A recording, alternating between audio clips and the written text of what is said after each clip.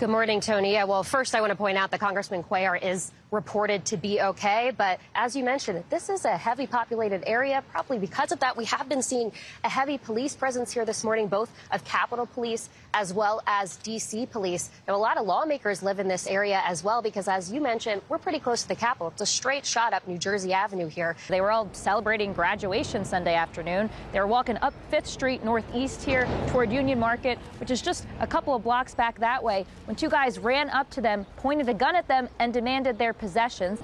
We saw something being sprayed from the law enforcement that was here. Originally, it was just park police toward the direction of the people here protesting, and it just wafted over here. So my partner Eric and I are feeling that a little bit right now.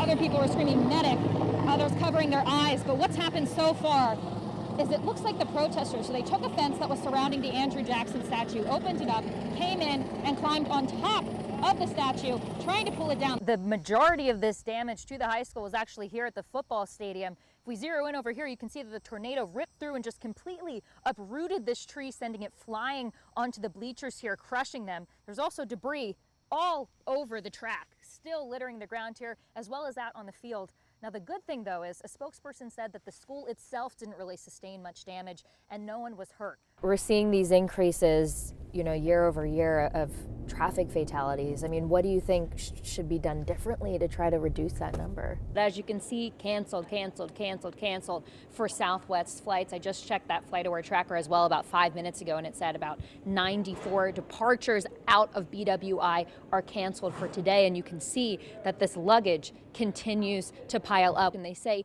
that two young men were targeted who were waiting outside of the carryout here. And police actually said that this surveillance camera from the Shell gas station right next door caught the suspect on video. Some of the other hidden gems within this hidden gem in DC are secret doors scattered throughout the museum, kind of a metaphor for searching within yourself.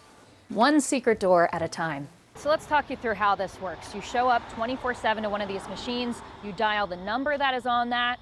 When you answer it, it's actually gonna give you a code that you can put in here.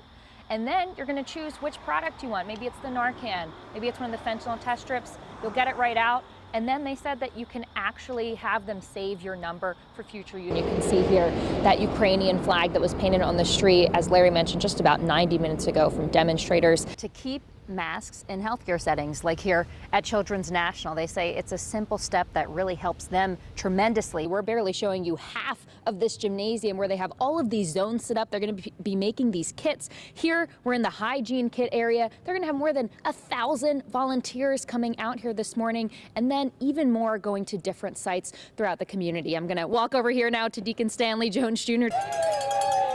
Another bell rung means another box packed toward those more than 300,000 meals going toward D.C. area families.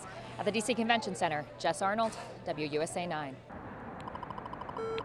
The sound of a day's work for D.C. police officer Jeremy Brady. Hey, where's your helmet? As he tries to keep people safe on these streets. There we go. So the speed was uh, 46 miles per hour. That's the speed he was traveling at, and the speed limit is 25.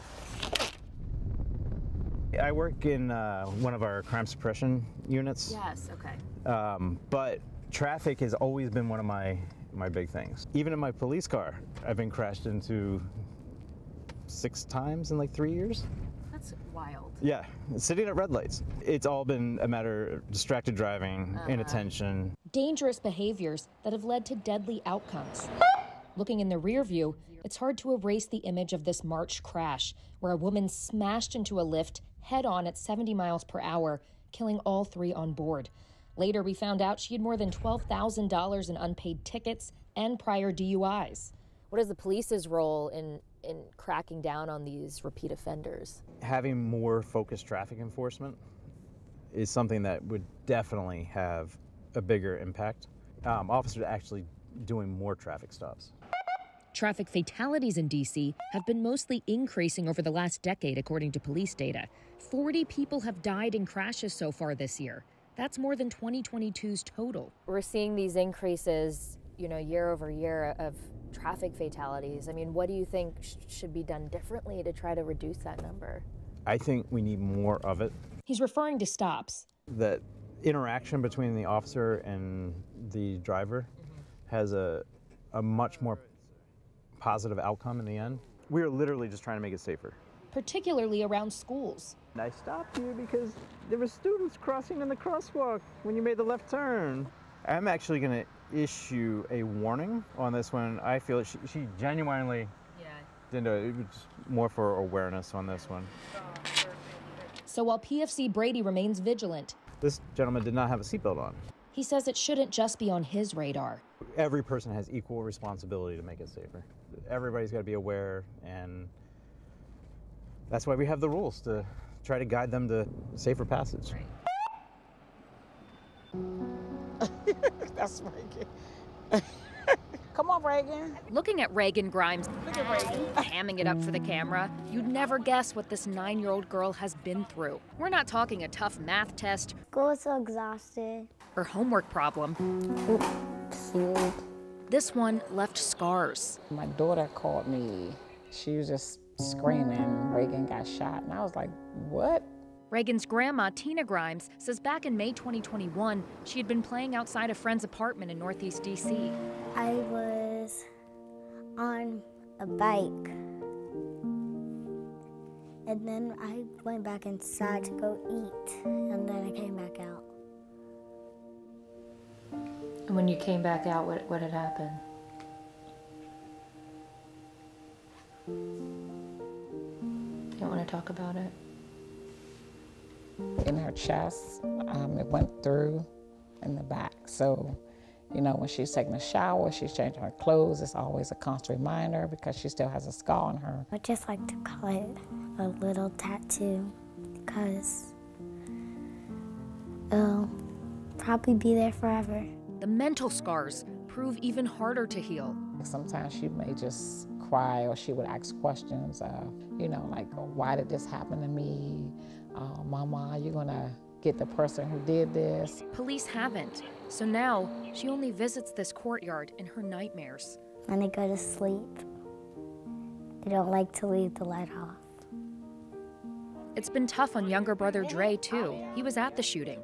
And I feel happy that she's okay.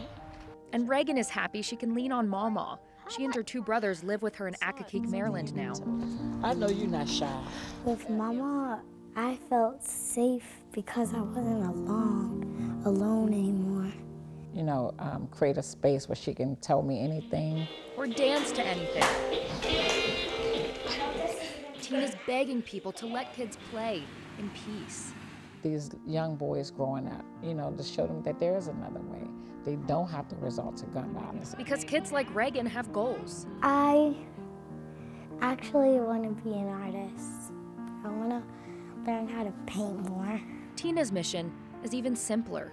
I just want to show them um, to love people, you know, just just be a good person and just to love people. Is there anything else you want to say? Um, ハハハ。